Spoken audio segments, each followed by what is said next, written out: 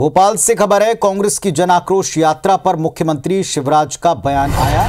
जिनको आक्रोश मिलेगा, वो आक्रोश मांगेंगे। जिनको प्यार मिलेगा, वो आशीर्वाद मांगेंगे। ये कहकर निशाना साधा है।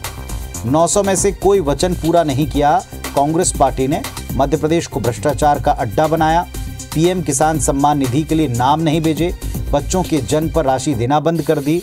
ये सारी खामियाँ गिनाई मध्य प्रदेश के मुख्यमंत्री शिवराज सिंह चौहान ने। बच्चियों की शादी की राशि नहीं दी इसीलिए कांग्रेस जन आक्रोश यात्रा निकाल रही।